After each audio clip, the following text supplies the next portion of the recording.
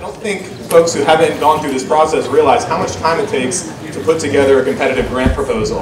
Um, I am a pretty unlikely person to moderate this, mainly because I've lost almost every grant that I've applied for. I've applied for about a dozen. Um, let's see, a dozen grants as a PI, co-PI, or other partner in some way, shape, or form with six different individuals or organizations, thereabouts. Um, I got one from the Laura and John Arnold Foundation. They graciously support our MTSS um, work, but it's not a partnership grant. Um, and I'm batting, you know, zero with IES, which I'm sure is uh, something some of you in the audience can relate to. Um, there are two IES grants in the hopper, so fingers crossed. We'll see what happens. Um, but right now, in order to talk more about uh, grant development, grant pursuance, and and other ideas around partnership grants, I want to invite up uh, Beth Cassidy, Angel Harris, Katrina Miller, Steve Porter, and Angie Wright. So please give them a round of applause.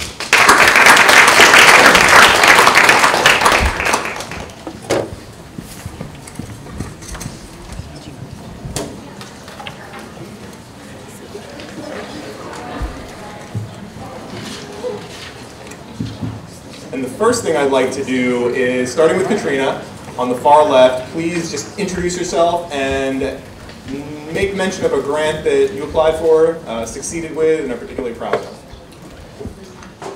Okay, I feel bad going first on that one. My name is Katrina Miller. I work at the SAS Institute. Um, I've been there since June.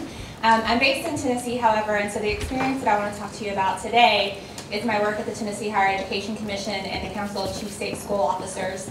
In Tennessee, I oversaw grant applications for all the Title II grants um, and did that for about five years. But the grant that I wrote and was successful was Tennessee's Race to the Top grant. Angel. I'm Angel Harris. I'm professor of sociology at Duke University, and uh, the grant that I will talk about is Javits. It's called the um, Javits, funded by the Department of Education, and it's a collaboration with Wake County. Hi, I'm Angie Wright. I'm the Senior Director for the Office of Grants and Strategic Advancement with Wake County Schools. I uh, worked with Dr. Harris on preparing the Javits proposal, so we'll uh, have some conversation about that. Um, so in terms of grants, uh, most proud of and successful with um, have been one of our recent Magnet School Assistance Program grants. Uh, Steve Porter, I'm a professor here in the College of Education, and like you, I've had many failed IES proposals, and I finally had a successful one. I uh, am working on a grant with two folks from uh, uh Friday Institute, Sarah uh, is one of them, and working with DPI as well, together to evaluate the state's uh, Read to Achieve third grade reading retention program.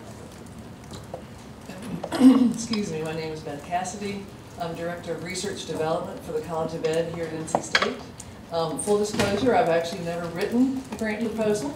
So, so uh, my, um, my uh, experience is really uh, steeped in the uh, practicalities and the logistics of getting proposals out the door and, and working with partnerships with schools and, and others.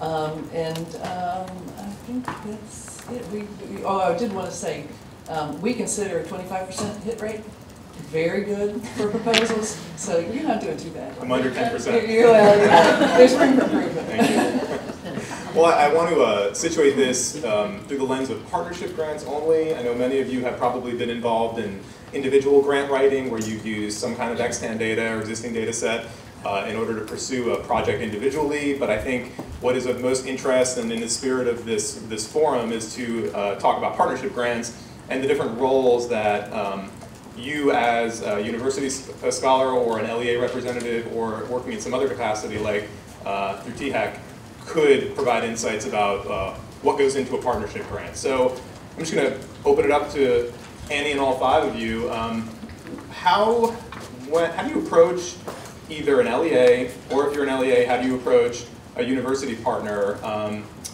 in pursuing a grant opportunity? Well, um, I think the important thing is to uh, have a, a, a, sense of, well, you obviously have to know what you want to do in your, in your research topic, but also you have to uh, remember what is important to the partner that you want to uh, uh collaborate with, right? And so um, oftentimes as researchers, uh, we're all we're, we're thinking about what we want in our data, what we want to collect, and, and what studies we're going to be able to do uh, with, with the data that's collected from this grant. Uh, but it's important also to realize that the, the partner has a may have a different set of goals that they're trying to optimize on, and so the important thing is to try to um, really get a sense for uh, uh, what the partner wants and how to make that work. I mean, that sounds obvious, but it's, it's easier said than done. It's not always the easiest thing to, to, to navigate uh, because in, in academia, you know, there are different things that are incentivized, right? And so there are different incentive structures. And it, it's trying to make those things work together that, that can be challenging sometimes. If I could add to that, I think having the opportunity for um, really intentionally building partnerships between school districts and higher ed partners is, is critically important. And actually doing that before the grant opportunity comes along, uh, those of us who are involved in grant writing know what the quick turnaround time often is that's associated with grant proposals. And so if you don't already have a basis for a relationship and have some understanding of the interests for your higher ed partner and the higher ed partner, having understanding of what the interests might be for the school district, then you oftentimes, at the onset of development of a grant application, you're spending time getting to know each other, getting to know what the priorities are, and, and that can make for challenges in developing your grant proposal. And, and I'll add to that as well. One of the things that we often saw um, in the Title II grants, which were the Improving Teacher Quality grants focused on professional development for teachers, um, was the university partners were always the, um, the primary investigator, the ones applying for the grant. And it was obvious to us as um, readers who had a true partnership and who just went to the district and said, can we provide this PD, it'll be no cost to you. Sign this letter, it's all the same letter from the districts they were involved with. Um, and oftentimes they would use, we required them to use and do a needs assessment. They would use state level data and say this school is really bad, um, their achievement's really low, and, and we need to improve it. And this is how we're going to do it. But it was obvious that it was not linked into the district's priorities of where they felt they really needed help and were really focused on that year.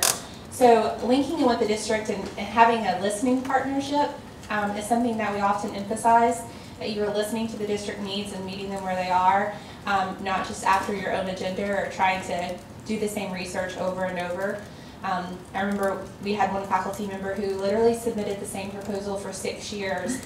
And sometimes it would get funded and then other times it would not. And she would be like, well, why does it get funded one year and not the next? And I really wanted to say to her, well, we had better reviewers this year, the year that it didn't get funded. but I couldn't because I worked for the state. Um, so what we did is we talked to her and we brokered a meeting with her in the school district and um, allowed them to tell her what they needed and why it was kind of a little off base. Um, and it created a really great partnership for them um, at the university um, in placing their future teachers as well as with the school district. Just wanted to add that um, it was interesting to see the quote earlier from the Department of Ed uh, IES person who was saying that, you know, better research comes out of true partnerships. Um, and at the IES, they have had this surge of uh, programs that really do emphasize partnership that they did not have before. Um, and I think that's one of the keys to our starting to have some success um, is that uh, you know, the partnership opportunity um, does make for stronger research, and, and that's what we can um, propose as opposed to just their standard education research programs that they had for years. And I, I think uh, we have a pretty diverse audience here of both practitioners and scholars, and I wonder how, when you're approaching a grant opportunity, you identify roles. Um, LEA staff have certain strengths, university staff have certain strengths. How do you negotiate who does what and what the expectations are for any particular grant application? Well, I, I think that's um, probably one of the most important things that, that go along with uh, grants that, you know, when, when there's a partnership involved. First thing is you have to um, put your ego to the side. I mean, one of the things as a researcher, uh, with every study that I've ever conducted, I analyze my own data. Always, always been that way. Uh, and uh, in collaboration with Wake, uh, they have a strong uh, uh, data analysis team, a strong research team stronger than what I anticipated. Uh, and in fact, so, you know, their, their, their analytic skills are, are really good. Um, and because of that, uh, it was, you know, it was, I I realized that the role was they felt comfortable doing the data analysis. They felt comfortable um, owning the data and really um, manipulating the data. And, and my sense was that that's how they wanted to proceed. And I said, okay, you know, I had to, I had to, I had to take that position of being okay with it, right? Um, but but it was easy because I could I could see they know what they're doing, right? So it was easy to do that. But that's one of the things is you have to um, be able to you have to be willing to give up certain roles uh, that, that that you may have in some contexts. Uh, and, and you have to be willing to delegate, and that's not always easy, particularly for academics who are, you know, it, in academia, it's, it's a very individual process, right? You, you, you, you, you, you get rejected, you feel that it's all you. Uh, and in this context, you have to really, um, you have to really be able to delegate, um, and, and that's not always easy. I think it also depends on the, the project. I think for some academic researchers, it's important to realize that uh, the people you're partnering with, the, the grant may not be that important as it is important to you. And uh, they actually have full-time jobs, unlike faculty, and may have limited time to work on proposals. So with us, uh, we team up with DPI. We end up doing, I guess, most of the preliminary data analysis, I believe, Sarah. Uh, and they helped us a lot with understanding the data, understanding the program, and so forth. But I think we end up writing a big chunk of the, the proposal ourselves. Uh, and a part of that just sort of the reality that, you know, we have the time to sit down and, and crank out, what is it, we we were lucky, it was only 15 pages, I think, single spaced. Uh, and many LEAs, the folks just don't have the time to, uh, to sit down and do that kind of work. Even though one of the biggest challenges is reducing the number of pages, because you've already gone over, right? Who's the agency partner for your IES grant? DPI. It is DPI, okay. So, I, and I would say, I, building on um, Judge Porter's comments, I think it's going to vary from grant program to grant program. And you have to look at the particular grant program to determine who's going to be the most competitive applicant. Uh, in many cases, when we're partnering with an institution of higher ed, it's going to be the higher ed. And um, they're, they're more likely, their funder is going to be more likely to respond positively to the application coming from the institution of higher ed who has a long-standing track record of conducting rigorous research and um, working in partnership with school districts. So I think first is determining who's going to be the most competitive applicant. And then if, uh, if it's going to be your higher ed partner, then some deference to your higher partner and, and how they like to typically structure development of a grant application. Um, and, and be willing to be flexible and negotiate with one another. I think that's again by having relationships that are already developed beforehand. I know uh, for myself, uh, because I do work with so many of the institutions that are in this room today, I have relationships with like Beth Cassidy, for example, at NC State. And so we're keeping in constant communication with one another throughout the year, well in advance before grant programs come up. So we're having some of these conversations on the front end. So when the grant comes out, we've already worked through some of the logistical items about how we're going to coordinate and organize the work. So I have a really practical piece of advice that I saw one university do in Tennessee that was really effective. Um, they actually took some money, um, rearranged some cost structures, and had a dedicated person to grant writing. Um, and this person wasn't your typical um, like HR or IR person in the university. It was more of a project manager. Um, and they organized everything. They organized all of the responses for every grant for all the faculty, all of the LEA responses, and they were politically protected, which is important. So there wasn't a faculty member who had tenure who could say, you know, I don't like that person because they could tell them no. So they were able to really get in there and say, it's not what's best for the university or for the grant and help make those decisions. And their word was sort of final because it was a logistical question. It wasn't a content question. Um, and that made their grants really powerful. They went from barely winning any um, year after year to getting every um, proposal funded with a limit of six each year after that, just because of that one logistical change and having a really strong project manager. just want to add that, um, you know, should acknowledge that there are, this can be tough, deciding who does what, um, you know, working on a proposal, somebody did a lot more work than the other.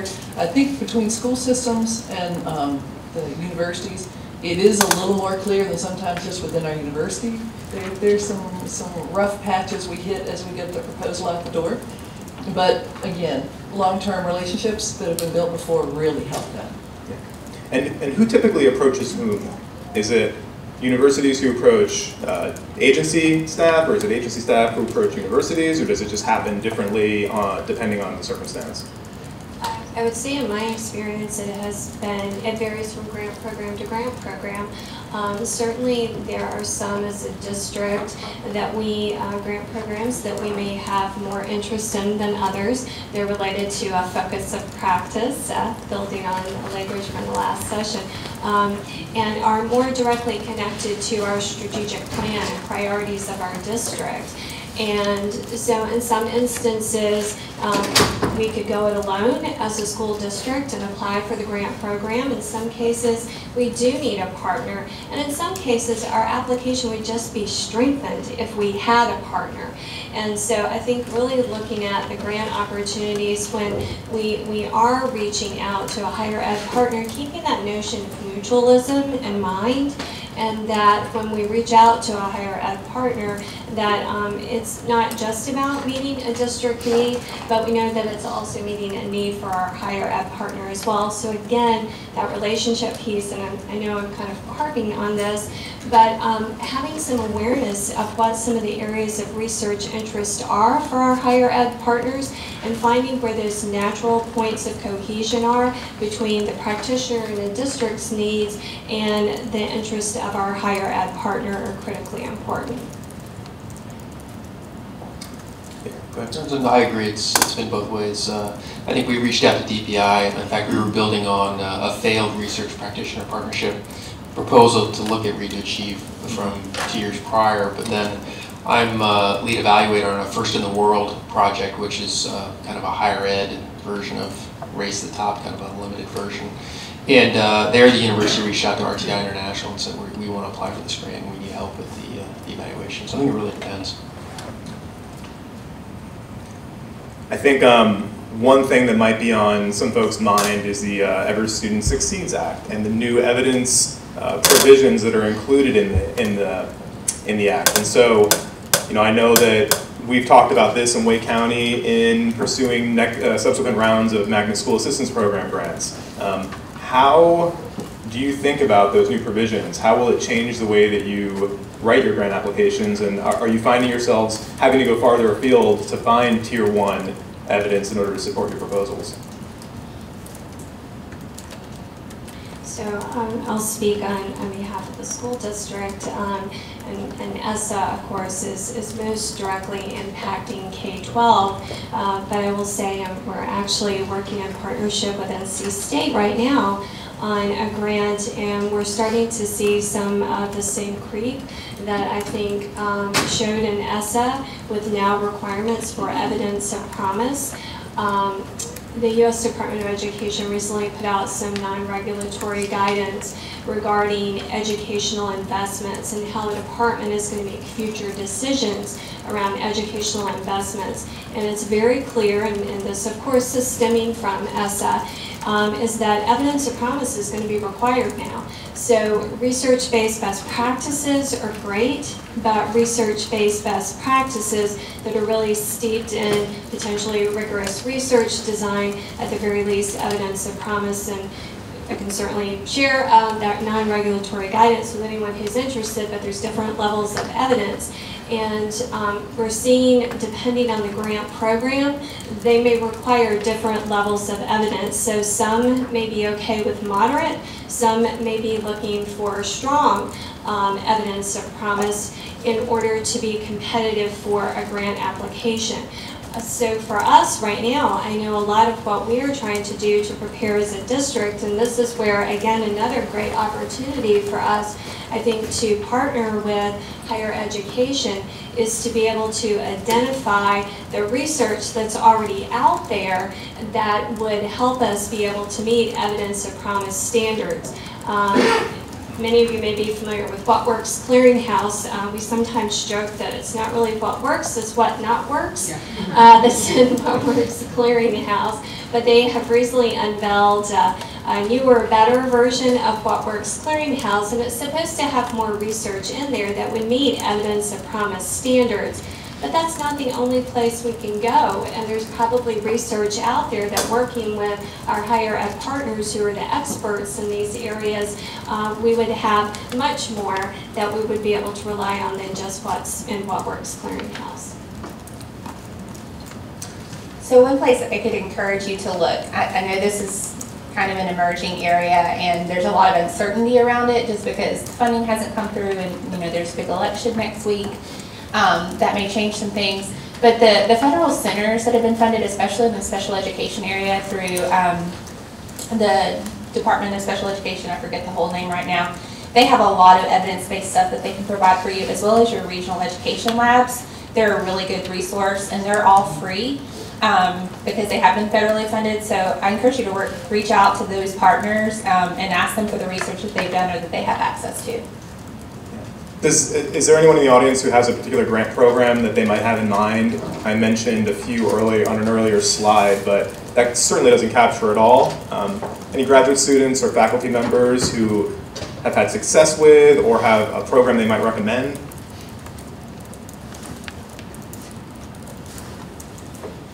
Okay, well let us know if you do, because we're always searching for the uh, foundation or organization that will not reject us. Um, I think that one interesting, uh, in my experience with this Arnold Foundation grant, um, when I was reading through the RFP, one of the big, you know, statements that it made loudly and clearly was that this was for evaluation uh, work. But after beginning various conversations with the foundation, I found out that it, they would support implementation work. Um, and so I think for, for practitioners, um, there's this idea that maybe uh, grant supporting implementation is more important than evaluation, and for you know researchers, maybe a grant supporting evaluation is more important than a grant supporting implementation. So how do how do you all think about um, implementation versus or in conjunction with evaluation and the kinds of activities that a grant program might support? From my perspective, it's not that one is more important than the other, just that I prefer to do the evaluation than the implementation. Uh, just in terms of my own research interests um, and in terms of, of the work involved. Because IES funds a lot of implementation grants, development grants, but um, that's a big deal. It's a much bigger deal trying to develop uh, some type of intervention over two, three years versus coming in and evaluating uh, how it's been implemented. I think different funding agencies have different things that they focus on, and so um, it really depends on the funder as well. I think that's really important. Um, so there are some foundations that focus on implementation and don't really pay much attention to evaluation of it. Um, and then, uh, uh, then there are others that are really big on some kind of experimental design where you're showing some kind of effect at the end. And so it, it really depends on, on the, the foundation that you're looking at. So it's not one size fits all, you know. I think that's also, um, we're having the relationship with the school district, and I think in the case of Wake County, uh, specifically with our data research and accountability team, um, Matt shared earlier much of the work that um, is handled internally, but other things the district might be, might want to be able to do, and questions the district might want to be able to explore. And um, by partnering with higher education agencies, it only expands our capacity to be able to do that kind of work. And so being able to have those really intentional conversations and planning intentionally with um, data research and accountability offices and school districts uh, to find out where those areas are that higher ed might be able to come in and, and be a partner where it's meeting the need for you from the research perspective, but in addition, it's helping the district to achieve some goals that they have and answer some questions that they may have around problems of practice. I think from a university perspective, again, it, it is, there's a great variety. Um, I think we do more, um, implementation, um, with evaluation as part of it. Um, and it does sort of, um, but again, we're, we're coming up with these um, things that we think might help and in conversation with the, um, the LEAs or the, the, or DPI. And then, um, eh, we, we have to, again, as you said, look at who will fund us. Um, and our College of Ed at NC State, the National Science Foundation is our primary funder. Um, and they really do, um, they, they want a lot of uh, new research and implementation and figuring out what's working and then, you know, figuring out how to get it out to the broader, um, uh, audiences. And what's the role of uh, products and deliverables? Um, I was quite overwhelmed in what I was asked to produce um, for my small grant, which was uh, you know, semi-annual reports, uh, budget documents, uh, an accounting of how time was spent, ensuring that uh, I applied for and, and or submitted and, uh, and, and one placement of, of, a paper or a poster at a conference. I mean, there's all these things that are associated with the grant. Um, that sometimes might suggest that it's, it's more trouble than it's worth. Um, is it more trouble than it's worth? Or are these, are these deliverables just part and parcel of the process? So semi-annual sounds like a, a vacation. we have a, a, few right now that they are insisting on monthly mm. reports. Yeah, so I, I think um, when you're considering any grant application, that you do have to approach it from somewhat of a cost-benefit perspective. Um, I, I think I see this probably less at the larger types of grants that we're probably talking about here in this room. We may grumble a little bit about having to do that monthly report, but when you look at the amount of funding that's coming in and what it's going to support you to be able to do, uh, probably in the end, the um, benefits do outweigh the cost, but it is something that you do have to take into consideration.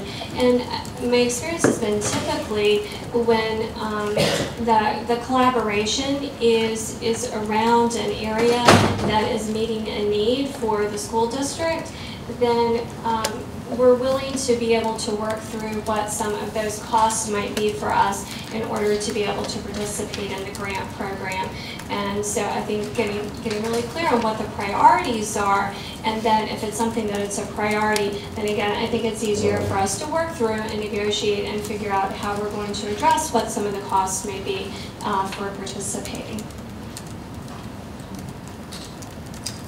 I'm hoping, oh, go ahead. Just to say, I think it's, a, it's, um, it's part of our faculty's expected work is to, um, there's a, you know, to do grants, um, and, um, and I think in doing that, they also are trying to keep in mind that it's not necessarily part of the LEA's um, work, and so they try to, to be respectful and uh, mindful of that, that, that it is, uh, school systems and others are very, very busy, and so we need to um, keep that in mind as we do propose and make sure that it is worthwhile to them that we do that work.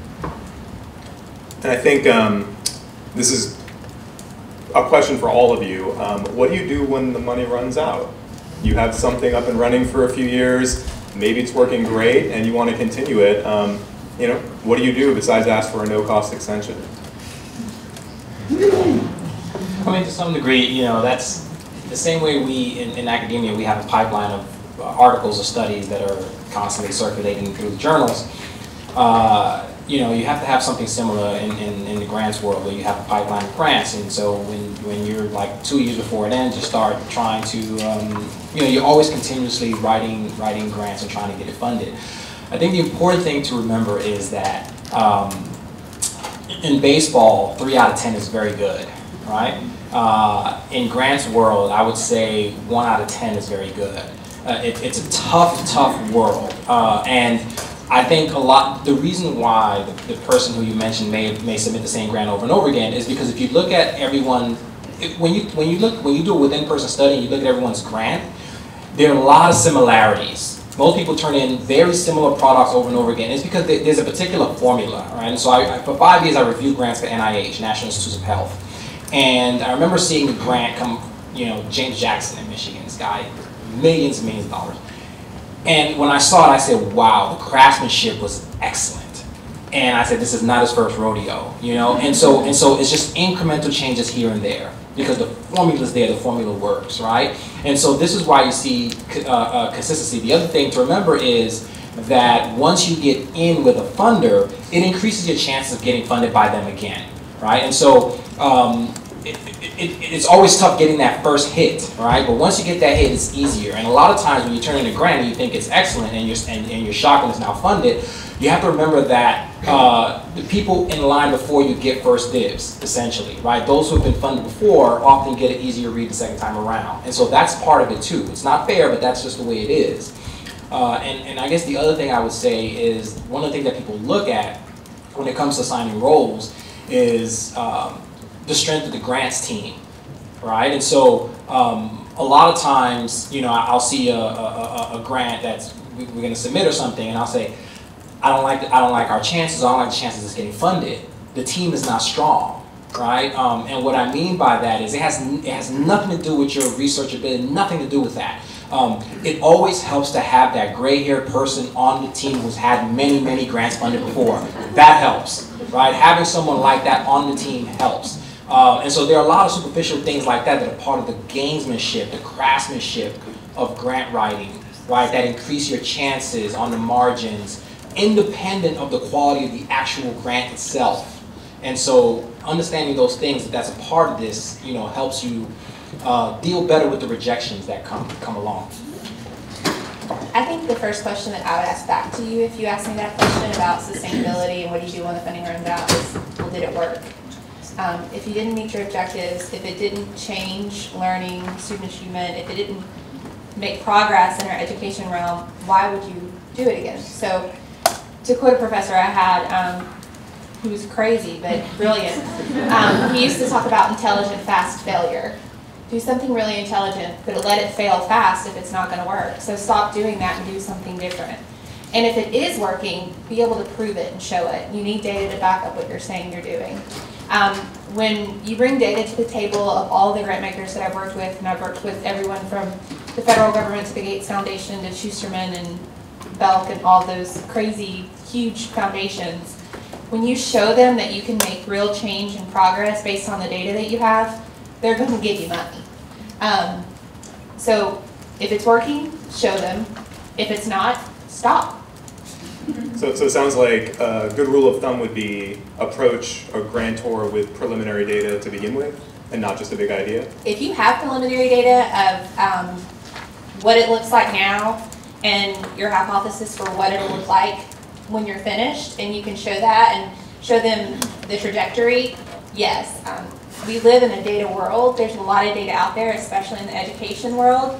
Um, North Carolina is data rich, so you have an opportunity to use a ton of information at your fingertips that you historically had.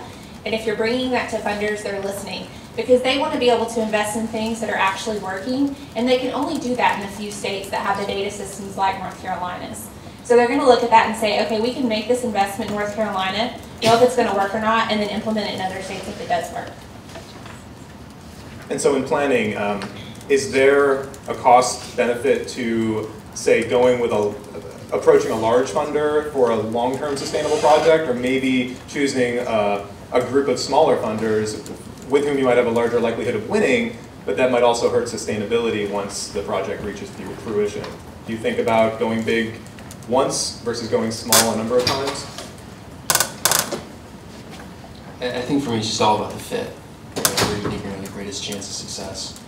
Um, When uh, Trip and Sarah approached me about this IES grant, I was, I was going to say no. I had six failed proposals, and I chaired two different grant review panels for them, so you think I know what I was doing. Yeah. And I said, no, I'm not going to do this. And then they mentioned what it was, and I said, oh, that's a perfect regression discontinuity design. I have a feeling this is going to get funded. Yes, I'll- I'm on board. Uh, and so it's all about fit. I thought, okay, that's a fantastic fit with IES. Um, so to me, it's really about finding out what funders want and trying to figure out who to pitch it to. Yeah. And the benefit of yours is that um, Read to Achieve is going to keep happening, right? It's, I guess it's state law, it's implemented. Um, They're not, I'm sure the evaluation will hopefully have some bearing on the way the policy proceeds, but right now it's happening. Perhaps. Yeah, perhaps it's happening, yeah. That, that is a really good point. Um, the, the, the best advice I think I can give is to look at whether you're, what you want to do matches the funder's goal. Um, because writing a proposal is hard work. Um, it's hard on everybody, and it takes a lot of time and a lot of angst and a lot of late nights. And you want to make sure it's worth your time, and if you're just spraying proposals around, um, your, your time is wasted. Um, so really focus on the goals and make sure that you are a good match. And I would say, um, building on that, in addition to just thinking about development of the proposal, you also need to be thinking about implementation. I think sometimes in the grant cycle process, it's easy to get really focused on just developing that grant proposal, but then not thinking about all of the measures and all of the logistics that you're going to have to have in place to be able to implement. And if you find that it's a challenge to get everyone on board just to develop the proposal or to get staff time just to work on the proposal, I think you'll find it equally challenging when it kind of comes time for implementation. And that's when you really don't want to be unsuccessful, not because the project failed the research, you didn't get the answer you were expecting, but because um, of implementation challenges. So I would always encourage everyone to think about beyond the life of the grant, go into it assuming that you're going to receive the funding, then what's the implementation going to look like? One thing about your question around going for small or big money, um, I don't think it really matters. I think if you're wanting like a large pot of money, go for the small money first to get in the door, especially with foundations. And just a note about foundations that I didn't know until like a year ago, which I thought was really interesting. Most program officers have discretionary funds that they can use and can make grants up to twenty-five thousand to even hundred thousand dollars, depending on the size of the foundation, without having to go to their board. So all you have to do is submit a proposal and they can fund it for you. And then that gets you access to the foundation board when you give reports and you could go for larger money. Um, most of the foundations that I've seen don't do just blanket grant proposals where you submit things. It's about that relationship building where you know that program officer and then they invite you to submit. So as you go to conferences and things, make sure that you're talking to those program officers, seek them out, have lunch with them, and tell them about the cool things that you're doing because they're always looking for new information. One, of the, one of the advantages of smaller grants is uh, remember I said there, there are things on the, on the edges, on the margins that affect whether something gets funded independent of, of the quality itself. Um, it's, uh, I'm thinking of a sports analogy, it's a copycat league. Essentially, you get one funder and now you send a grant off and you say, oh, it's funded, you know, this part is funded by so-and-so. The grant looks better now.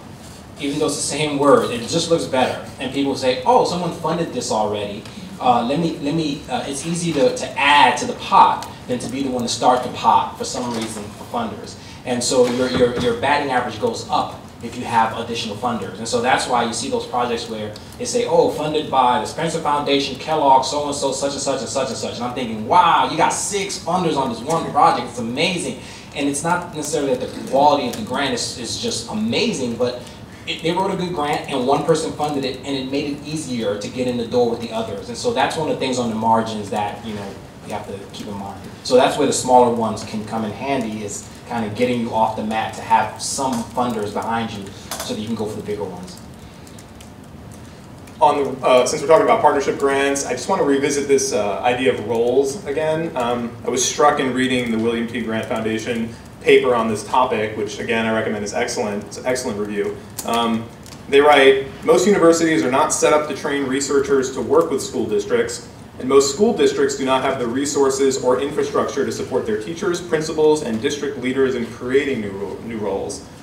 And so, um, for concluding thoughts, I just wanted you to respond to that and maybe provide some insights about how we can bridge that gap between what universities and LEAs or agencies can and cannot do? Um, I think the landscape's changing. So as um, with, with this election coming up and the changes in the Department of Education, the likelihood that they would have a higher education appointed as the new Secretary of Education, um, that's going to play into that. I think that higher education, more so than ever, is going to need K-12, especially around accountability. K-12 has been through this um, for years, and I think higher ed, and, and, my background is higher ed, um, we'll have a lot to learn from our K-12 partners, and that will only increase the ability to have really strengthened partnerships because we'll come to the table as equals, and I don't think that we've traditionally done that well. Um, so while we may not agree with all of the changes that may be coming, and um, some are good, some are bad, I think that um, maybe this cross aisle work can be one of the great things that comes out of it. So I think that the, the challenge varies depending upon where in the university you sit. And so uh, I've never been affiliated with school of ed. And so for me, I imagine that my challenges are different than someone who isn't a school of ed. So I, I imagine that if I were in school of ed, that there is already an infrastructure and a group of people who say, oh, we've done this before. Here's, here's how you do this, right? For me, it's always the individual reaching out to school district uh, because I've been at schools that don't have schools of ed, Duke, and prior to Duke, I was at Princeton, and so there's no school of ed. And so it's, it's an individual who's trying to reach out to, to an institution, and so the challenges are, are, are different in the sense that um, uh, school districts, uh, you know, they, they don't know who, sociologists, who is this trying to come study us, and so so so it, building rapport is more is more important because there's no infrastructure around me to help me do that, and so maybe I am um, uh, overestimating what schools of ed are able to provide in that capacity. Uh, but I think that that's that's challenging, and, and, and, when you do that, you have to come with, with some level of deference to, to the school district and letting them know, look, I you know I, I, I want to study this together, uh, you know, expert loosely, you know, I kind of do that. Um, so I think um, building building on both of the previous comments, um, I think it's really going back to that concept of mutualism and um, developing relationships so that you can find out what's going to be mutually beneficial for both partners. Um, we see a lot, I know in, in grants that um, we're connected within the district, this notion of collective impact and that um, the work that we want to achieve can't be achieved in isolation. And so it takes higher education, it takes K-12 working in partnership with one another to address these very challenging issues um, that face us today in education. And uh, where you can build in those structures, but it's for the relationship building, having the rapport, networking, making connections, faculty, getting faculty together with K-12 staff so that you can find where those common points of cohesion are for moving forward when grant opportunities and other forms of partnership present themselves.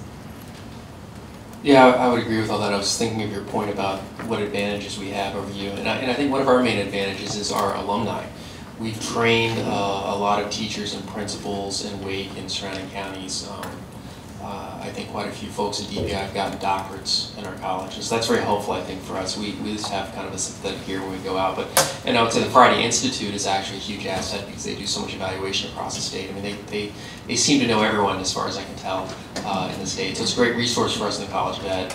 But in the end, it's again, it's the reason it's a resource is because, uh, as you said, the relationships and, and, and, getting a sympathetic ear. I think for the for faculty, the the main thing to keep in mind is that LEAs are, are kind of tired of faculty approaching them for data for their individual research project, and you really kind of have to sell them on what what's the advantage for them. Because someone in their in their district uh, or their office has to take time out to help you uh, with this project, and so what what what will they get out of this? And that's that's what our true partnership is, right? So we have uh, a variety of students working with folks in Wake, and, whole idea is that we get some basically some free labor to help analyze data, and the doc students, that they'll be presenting later today, they get this great practical hands-on experience, and that's the kind of thing that I think uh, uh, people need to leverage in the future.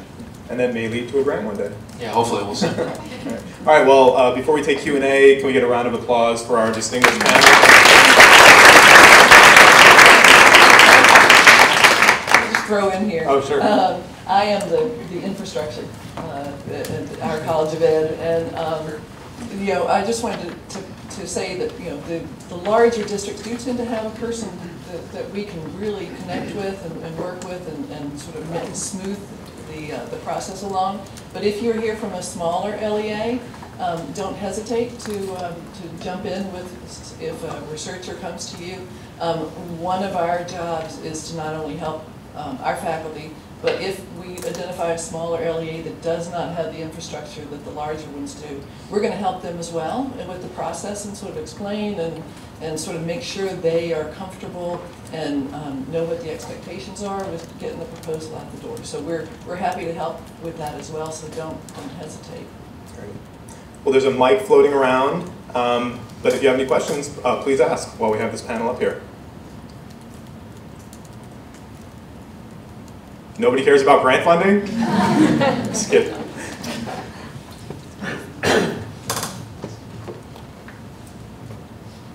I wanted to um, get a sense of how you build um, rapport and communication among the partners. I'm part of a pretty large IES grant right now, and with some of the partners we've um, we've worked together, so we've had established relationships, and others are brand new. So how do you work, I guess, more on the interpersonal dynamics and connecting with one another?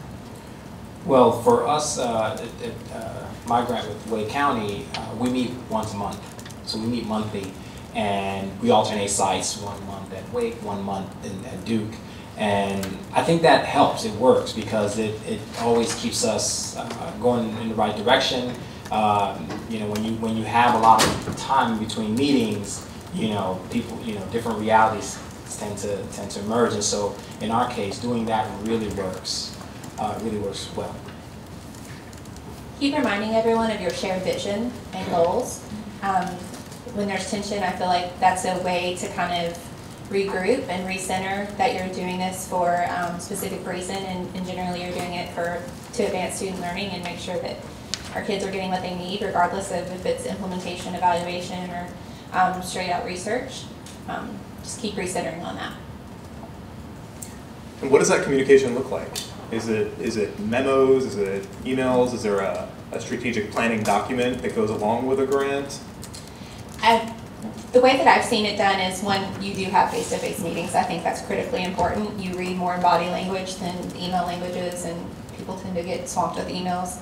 Um, and then when you're in those meetings, when there's points of conflict or points of um, tension, then you go back to, okay, well, this is our ultimate goal, and you keep reminding each other of that. How does this serve that ultimate goal?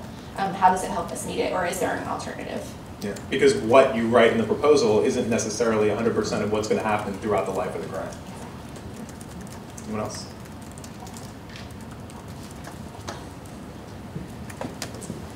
I'll wait for the mic, I don't, for my myself.